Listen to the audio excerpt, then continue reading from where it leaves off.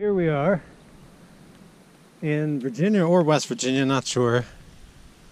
And uh, we'll be stopping four miles short of Harper's Ferry. We're pretty much done with the roller coaster, the famous roller coaster. And uh, wasn't very hard. Nope. No, not for through hikers.